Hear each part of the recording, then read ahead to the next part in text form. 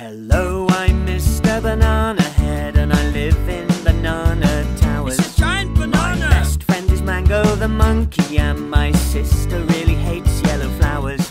Her name is Ethel Cabbage Brain Head, and you thought my name was silly. We all live in a town called Bananaville, where I once met a tiger called Tilly. She was really nice, actually. Here are some things about me that you might like song has finished, you can go and have fun in the snow. Unless it isn't snowing, which is almost the whole of the year. Then instead, you could go into outer space and say hello to a deer. Hello, dear. Here comes Mr. Banana Head. He loves yellow, purple, and red. Here comes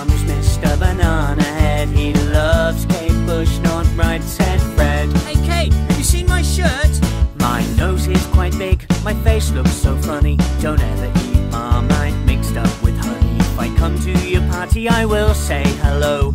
I don't shake hands though, just like Dr. No. It's so awkward. Here comes Mr. Banana Head.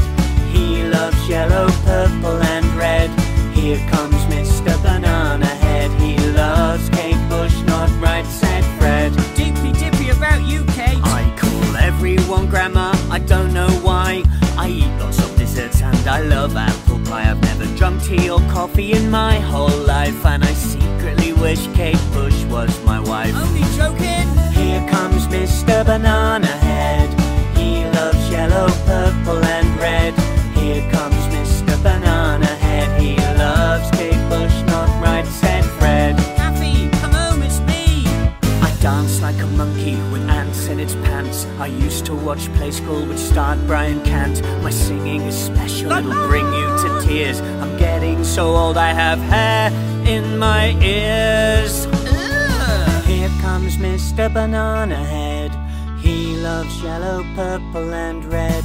Here comes Mr. Banana Head. He loves Kate Bush, not Right Said Fred. Have you even read Wuthering Heights? Now you know lots about me, it's time to say bye. We'll meet again soon. Have you heard the song? I enjoy the rest of your life